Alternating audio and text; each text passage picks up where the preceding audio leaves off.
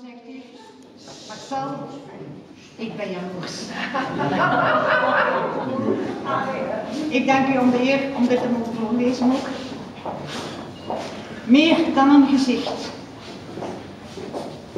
Men hoort het niet wanneer hij vliegt over veld en vijver. Een vlucht in een enkele lijn. Of dat wat achterblijft op een gezicht.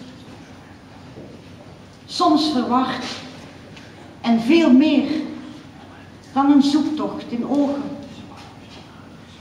Expressie als pure poëzie, die hij doorgeeft aan hen die het gelaat van kunst willen vinden en die willen binnendringen in zijn droom, waar hij dolt langs twijgelichten als bomen ruist, blauw, maar dan weer regenzwaar, in een stroom van melancholie, tentoongesteld door de dichterlijkheid van zijn schildershand.